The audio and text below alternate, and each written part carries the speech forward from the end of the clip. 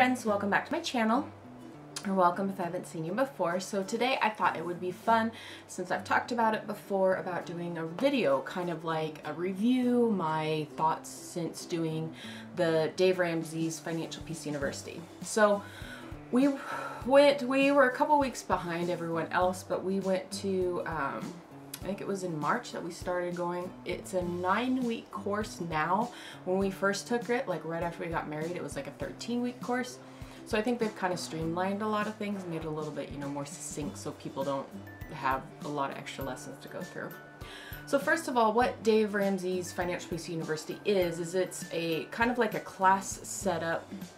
Most churches are the ones that host it, but basically they like watch videos from this guy. His name's Dave Ramsey. He's basically been a multimillionaire versus, and then he's been bankrupt. So he kind of uses like his own personal experience to kind of say, you know, this is how you should, you know, deal with your finances. And the reality is a lot of people don't in like especially in the US, like there's just a ton of like we're being marketed to more than any other generation in the entire world. And that's karma, just ignore her. and I feel like it's really hard because like as soon as you get to college they start signing you up for credit cards and stuff like that and he's really not a fan of credit cards he feels like they are um, well they're debt and he's really big on like not being in debt or getting out of debt as best you can so we decided to do this class again because we you know get, went through a bunch of crazy stuff and we bought the travel trailer and bought the truck this year which was um, kind of a response, for lack of better words, because there were certain things that we were wanting to do that we weren't able to do. So we decided to, hey, let's get a travel trailer and a truck to go camping and make memories that way.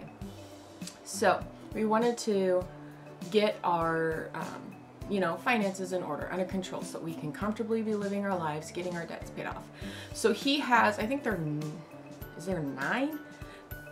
there's baby steps that he has you take. Like your first baby step is have a thousand bucks in the bank because basically when you stop using your credit cards, you need to have a little bit of a saving. They call it a emergency fund in the bank so that you have your um, like if something goes wrong, you have a little bit extra money to cover it. So like baby step one is thousand dollars. Baby step two is he calls the debt snowball. So basically, you put like all your debts kind of together and then when you pay off one debt you put that amount of money on the next debt down so as you continue to pay off debts like credit cards, car loans, or whatever, you add more and more to it. So basically you're still paying the same amount of money you did at the very beginning, but you're paying off everything a lot quicker. Like a lot of people have said that doing that they've been able to pay, you know, like five year loans in like two or three years or 10 year loans in like five years. So it almost cuts a lot of these bills in half.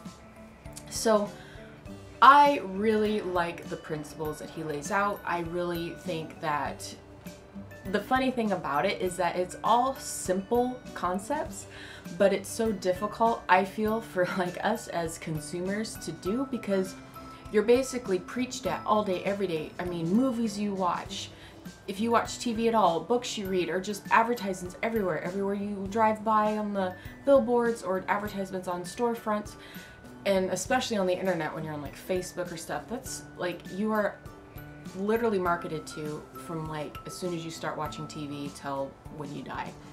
And it's so counterintuitive to like what they tell you to do. Oh, get a credit card. It's no big deal. Everyone's got credit cards. You know, you want to look expensive. You want to look like you're on top of the world or whatever.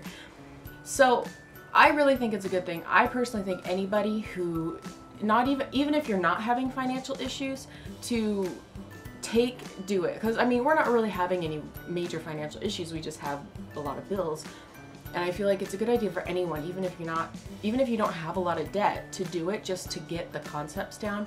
Because I think it's really hard in this day and age not to want to go out and spend money that you really don't have in order to feel good about yourself or to live a lifestyle that you think is you know everybody wants you to see or whatever. I don't know how to say it.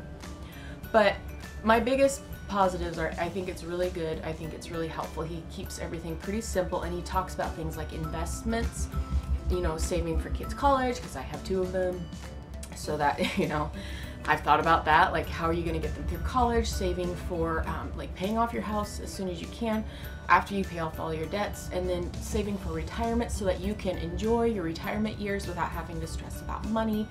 Um, because let's be honest, Social Security. I I've been told my whole life not to count on it, and it, it it's sad because of course I pay taxes and I would like to have a safety net for whenever I retire, but that may not happen. Who knows? But um, I think it's really great. I think everyone should do it. My concerns, for lack of better words, the one things that I don't like about it as much is it's very like hardcore. Like he is like sell any extra stuff that you might have, you know, sell your car that has a high payment and like get an extra job if you need to. And I guess part of me feels like that like he goes like really extreme with it which if you want to pay off all your debts like some people paid off like 50 to 100 thousand dollars in debt in like two years. So yeah like that would make it happen. But i guess i personally feel like life happens and i think the approach that we're trying to take to it is we're still being pretty like aggressive. We're not we're probably not going to do any big trips except for we already have one planned for disneyland this year but other than that, we're not planning on going to like Ireland again or, you know, Europe or whatever. So we're trying to like cut back on our extras, but still do things like locally. Like one of the reasons why we got the trailers so that we could do more local events and stuff because it's just easier with a trailer. You can go to the beach or go to the mountains or go to, you know, the desert actually. So I feel like it, he's really extreme with it. So I kind of like rein myself in because I think a lot of people like even psychologically, we need to have a little extra, you know, fun time or fun money or whatever. And he does say like, that's fine if you want to have like a budget for like blow money is what he calls it to blow on whatever you want but just make sure that you have it in your budget and you're you're like living within your means it's ridiculous though thinking like i my friends my family how many people i know that like are not living within their means. And it's it's hard because i think like i said you you see all these people and advertisers and, and on facebook you see all these people having these perfect lives and you think oh i have to do that whenever they're probably drowning in debt.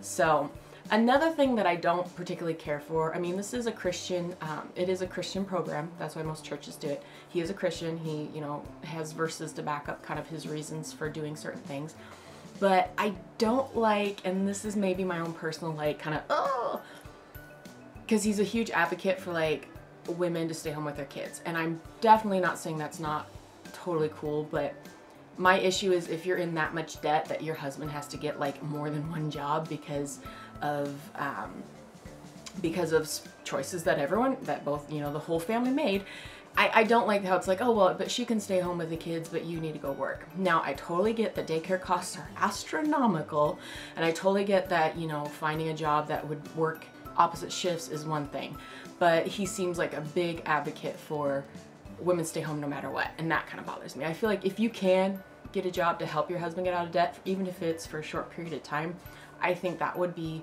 in my opinion, beneficial as opposed to um, not. But that's coming from a working mom, and that's probably I. I mean, I sometimes do feel sensitive about being a working mom, especially because in the Christian culture, I think stay-at-home moms are like the gold standard. But I personally feel that stay-at-home moms, I know many that are amazing women and that they their kids are awesome, well-adjusted. They you know play with them, they do things with them, and then I have known a few that literally sit their kids in front of the TV all day. So I don't see it as being both a good choice. Some moms are better moms because they work. I consider myself a better mom because I work.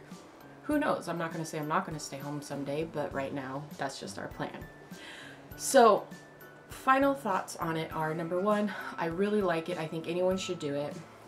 I would say, you know, make sure that you're doing the debt snowball and stuff, but also know that like you're gonna have events coming up and you're gonna have trips that you're gonna want to do. So make sure that you're like keeping an eye out, or not keeping an eye out, make sure that you are um, planning for that, making sure you have a budget in place, and know that like life happens. But the thing is, you can always start over at the baby steps too.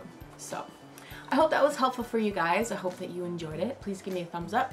And if you have any questions or comments about, you know, more about my experience or about the program, feel free to leave them below. I'll try to answer them as best I can. So thank you guys so much for tuning in, and I'll see you next time.